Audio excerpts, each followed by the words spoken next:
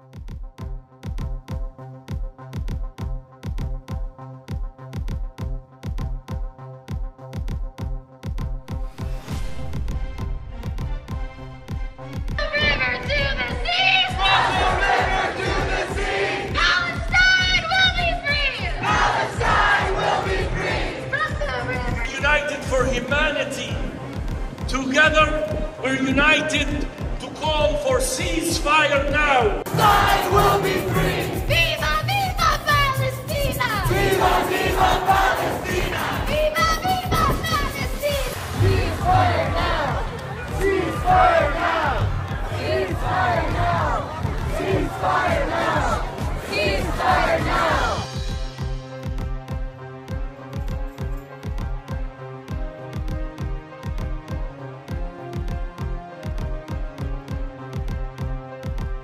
America!